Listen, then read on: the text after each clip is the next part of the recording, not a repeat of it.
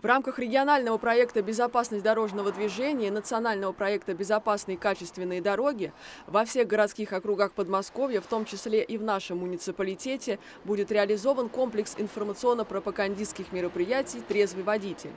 Сотрудники госавтоинспекции совместно с активистами общественных объединений будут напоминать водителям о запрете вождения автомобиля в состоянии опьянения. Будут проходить массовые проверки граждан.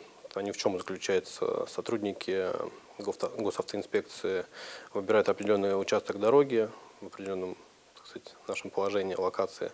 И э, задача их заключается в том, чтобы максим, проверить максимальное количество водителей Контроль станут осуществлять на сельских территориях, садовых некоммерческих товариществах, коттеджных поселках и местах отдыха у водоемов.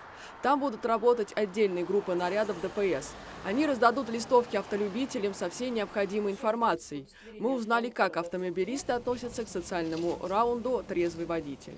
Очень положительно отношусь. А, в данной ситуации очень важно, чтобы на дороге у нас а, ездили адекватные люди, понимали, что они несут большую ответственность на дорогах, так как мы имеем детей, семьи и переживаем за безопасность. Это повышает безопасность дорожного движения, оберегает других участников, как пешеходов, так и участников на автомобилях.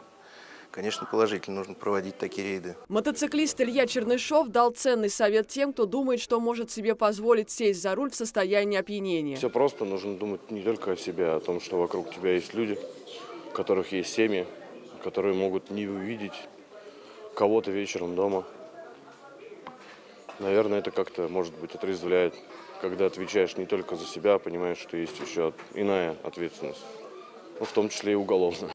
Напомним, что за вождение в нетрезвом состоянии предусмотрена административная ответственность с лишением прав на срок от полутора до трех лет, а также штраф. При повторном нарушении грозит уголовная ответственность и изъятие автомобиля. Юлия Стаферова, Александр Логинов, Ольга Садовская, Видное ТВ.